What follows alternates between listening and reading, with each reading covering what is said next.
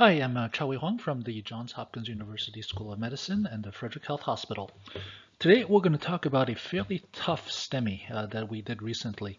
Only have the uh, balloon malfunction and not deflate in the final uh, post-dilation. The patient is a 55-year-old woman uh, who was pretty healthy other than a COVID-19 infection about a month ago.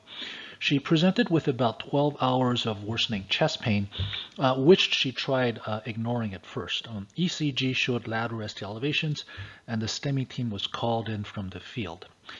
On cath, her RCA was normal and her LAD had only mild disease. The obvious culprit is the circ, uh, which is 100% occluded proximally and had some dye staining. And um, it was actually a bear to wire, uh, probably because of partial organization of the thrombus. Uh, she had waited uh, 12 hours before coming in. Uh, neither a BMW nor a Pilot 50 wire would cross. Uh, we eventually crossed with a uh, Pilot 50 via a turnpike, but I wasn't completely sure whether we were actually intraluminal until we did a contrast injection through the microcatheter. Uh, we uh, did POBA of the circ uh, with a two and a half millimeter balloon to reestablish flow. But uh, you can see that there is a large OM that had a big clot right at its ostium. And unfortunately for us, that OM took off with a reverse turn uh, from the circ. Um, I tried to wire it with a ProWater with various tip shapes, but uh, could not get in. I next tried a Pilot 50 and a Turnpike, uh, but uh, was not successful. I even tried to hook the OM backwards uh, with a um, hairpin tip, but still couldn't get it. I uh, did not have enough uh, forward pushability to get the wire through the uh, thrombus at the ostium. Uh, finally, I, I, reached for my new best friend, a, a dual lumen catheter. Uh, we had a twin pass on hand. Uh, with a twin pass uh, over the circ wire, I was actually able to wire the OM on the first attempt with just the ProWater uh, through the side port. Uh, it's a really useful tool to have in a pinch. once it was wired, I did aspiration thrombectomy in the OM because of the um, heavy thrombus burden. So um, here we are uh, after uh, aspiration thrombectomy. Uh, we have flow back in the circ and the OM, but as you can see, uh, we're dealing with a true Medina 111 uh, bifurcation lesion, uh, which was still filled with thrombus. So what should be our strategy now? more aspiration, angiojet, balloon, just stent the thing, and if so, which branch to stent first? Well, I considered just stenting, uh, but given all the thrombus, I was worrying that stenting the first branch would cause the other branch to either occlude or no reflow. So I decided to uh, balloon some more.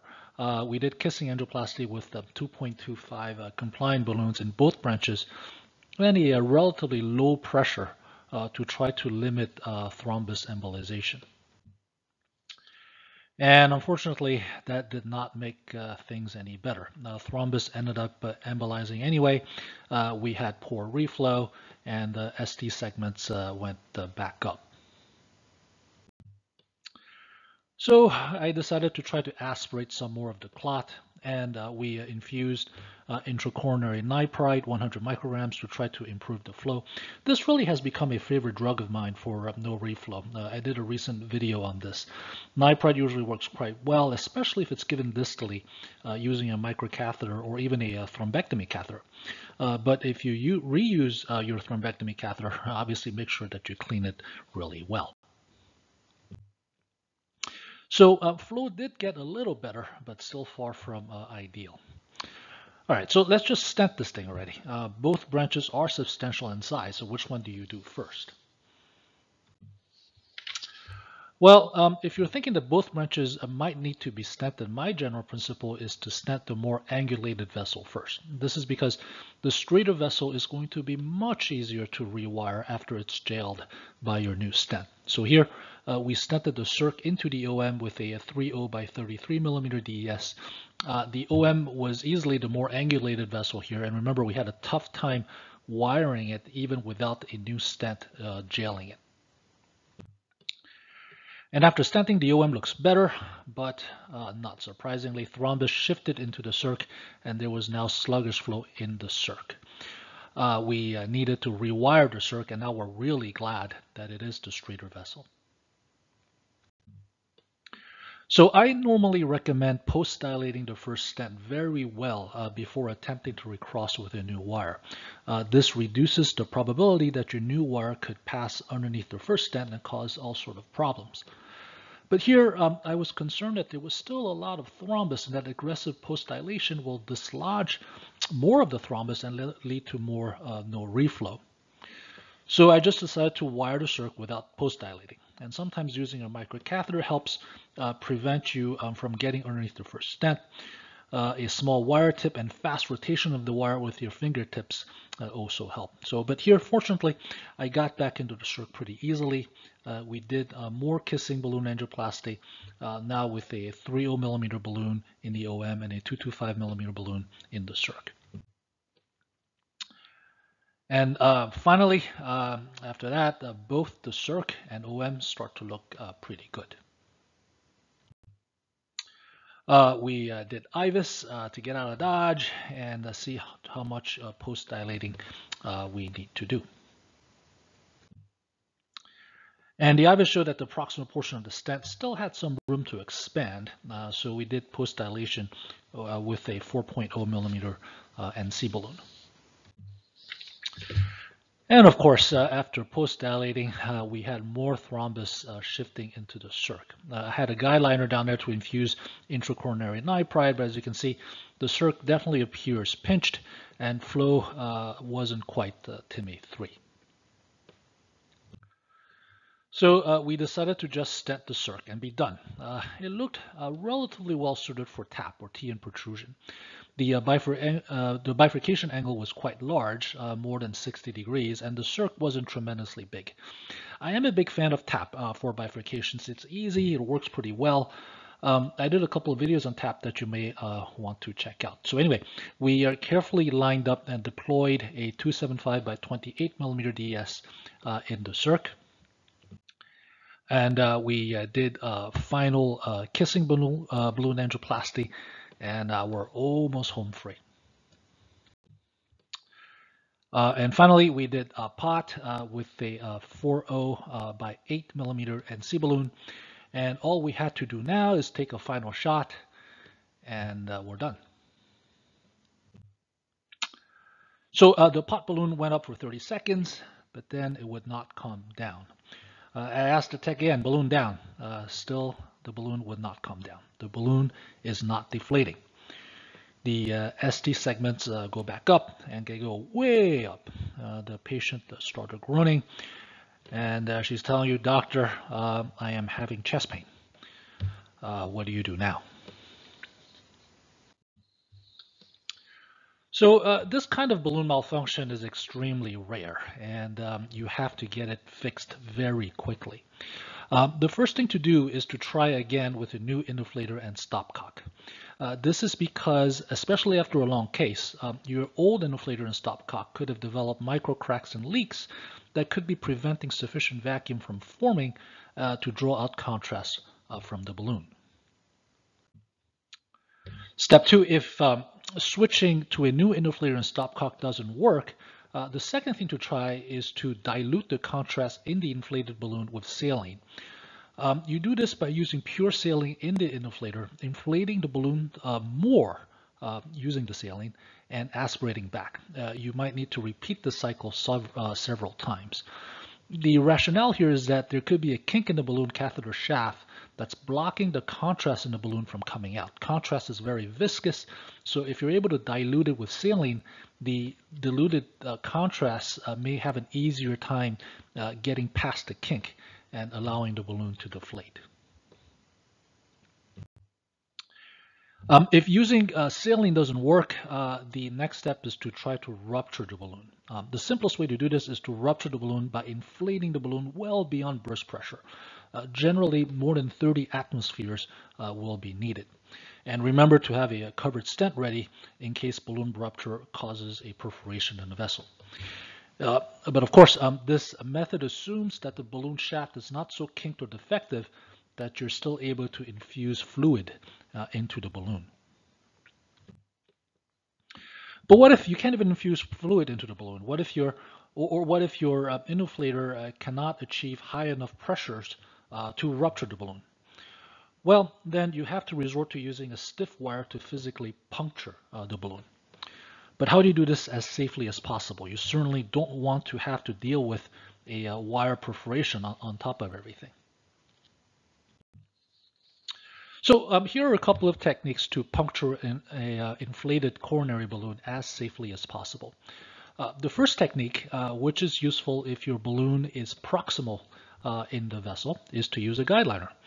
Um, you have to first cut the shaft of your non uh, of the non-deflating balloon and then advance your guide liner over the cut balloon shaft into the vessel. Uh, you, uh, you advance the guide liner all the way in and wedge it against the non-deflating balloon and pass your stiff wires uh, via the guide uh, to puncture the balloon. The idea here is that the guide liner will help shield the coronary uh, from accidentally being punctured by your sharp wires. Uh, I suggest trying first uh, uh, using heavy CTO wires such as the Confianza Pro 12, the Hornet 14, the Astato 40, or, or uh, peripheral wires. If none of these work, uh, then try the back end uh, of the coronary wire, which is usually quite sharp. If the non-deflating balloon is too distal for a guide liner, then you can use an over-the-wire balloon. Uh, in this technique, uh, you first pass a long buddy wire to the non-deflating balloon. Um, you then advance an over the uh, an over the wire balloon, uh, which is sized one to one to the diameter of the vessel, over the buddy wire, and wedge the tip of the over the wire balloon against the non-deflating balloon. Uh, you inflate the over the wire balloon to nominal pressure, and that anchors it in place and pass your heavy wires uh, via that over the wire balloon to puncture the non-deflating balloon. Um, wiring uh, via the over-the-wire balloon shields the coronary from accidental puncture, and inflating the over-the-wire balloon helps to center the puncturing wire in the vessel, while, uh, while also providing a strong anchor uh, for the wire puncture. You can also use a microcatheter, but the microcatheter uh, does not give you the option of anchoring unless you trap it uh, by inflating a balloon uh, next to it. similar techniques are sometimes used for puncturing stiff proximal caps in CTO PCI. Okay, so I tried all of these tricks. Uh, I got a new uh, stopcock and inflator. Uh, that didn't do anything. I changed the inflator fluid to pure saline and tried to flush the fluid in and out of the inflating balloon. That did not do anything either. I then tried to rupture it. I inflated the balloon to more than 30 atmospheres, did this several times. The balloon uh, did not rupture. So I decided that I needed to puncture the balloon. And while the circulator was uh, looking for the appropriate over-the-wire balloon, I, I, tried step two again, infusing the, the uh, saline into the balloon and aspirating back.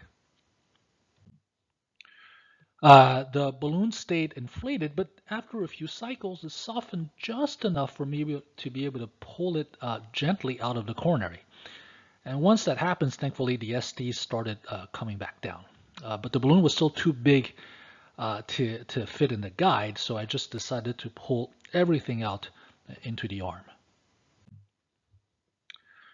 So now uh, we can uh, breathe a sigh of relief uh, with the balloon pulled out uh, to the wrist.